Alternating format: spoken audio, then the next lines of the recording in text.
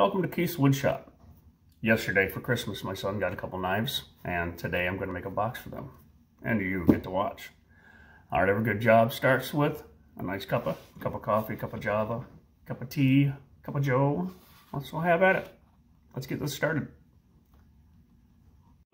And now we need to make some sides. And we use this old piece. It used to be the door jamb to that same house. House was built in 1861, so these boards kind of old but still pretty solid. And this, this is Odin. Here's my kitten. He's eight months old now. Right, buddy? You're here to help? Or are you here to get my way? What do you think? Yeah. Ow. Ow. He still has claws.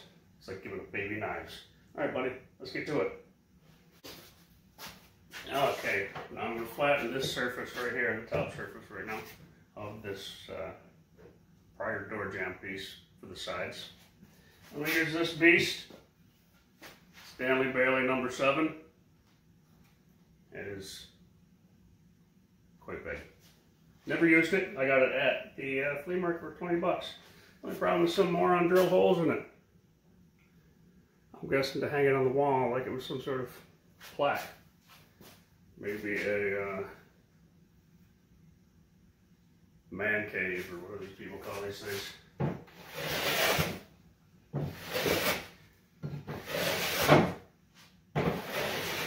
So now I'm gonna get this thin edge flat, straight across. It's time for a little coffee break.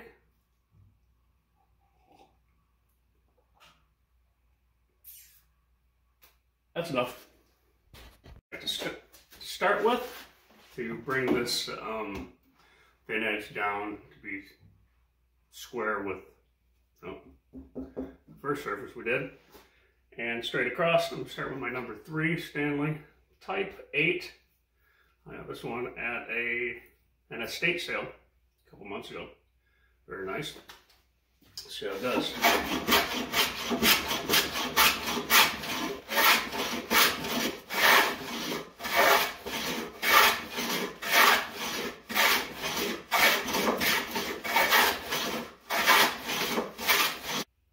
Miter station here. And cut myself two pieces, six inches by six inches, and which I will resaw into four pieces, six by six. First, roughly 12 inches.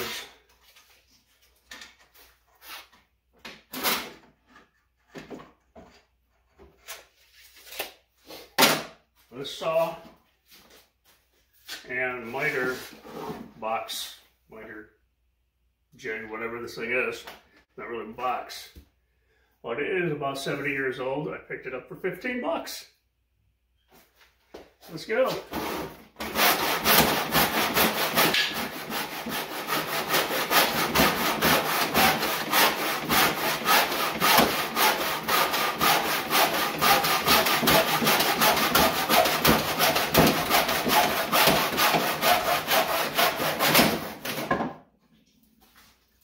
Okay, so our next step is going to be splitting these big thick boards into two thinner boards.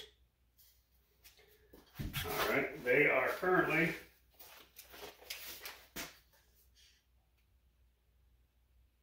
one inch thick. Take our old Stanley marking gauge, drop that down to a half inch.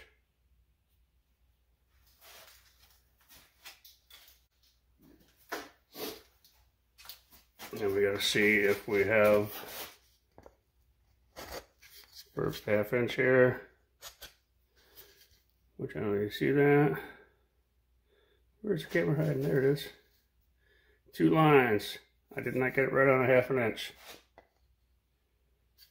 Bring it in a little bit.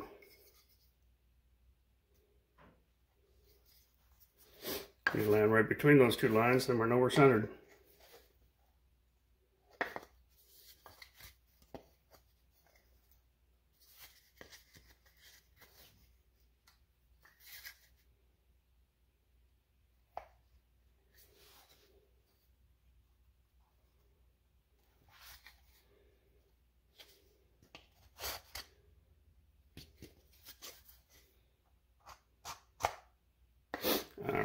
So we'll continue that mark all the way around. Yeah, yeah. Even over here, on the ugly edge.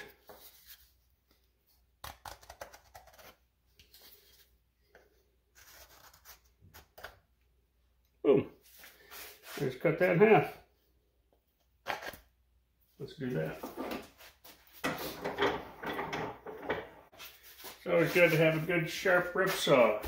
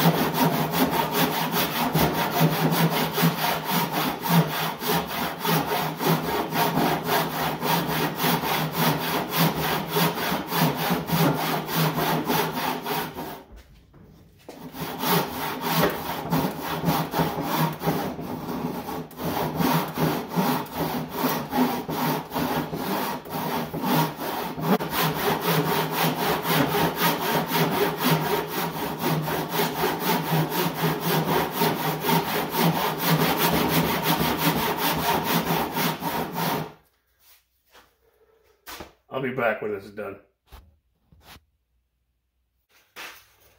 Got four pieces, all four sides. All about the same length, same thickness. See on YouTube, they always have weird camera angles. How's it doing? It working? I don't get it either.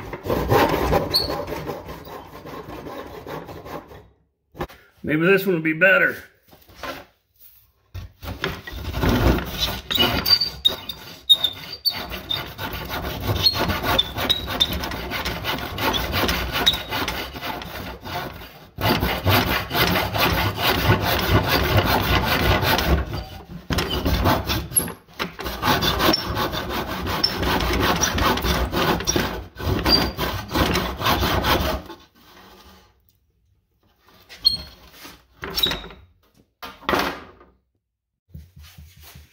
Four sides. Got to put my mitered 45s on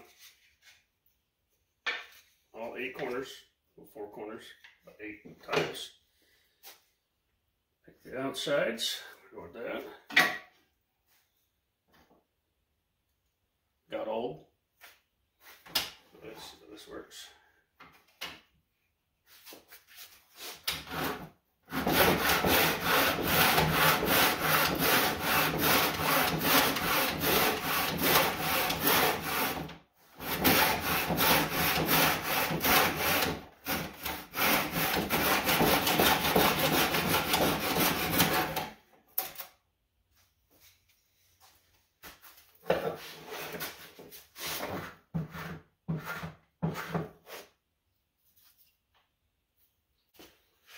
Now that I have my four sides too short, too long, I want to put the groove in the bottoms and the tops that are known as a rabbet or rebate, depending on where you're from.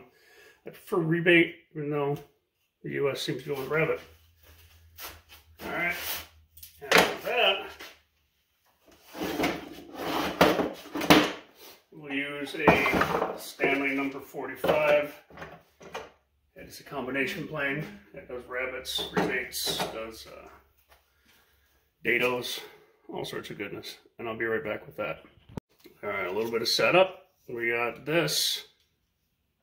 It's gonna make the groove in these pieces. Right. Anyways, that'll work. All right. One issue you'll have when you have cats in the shop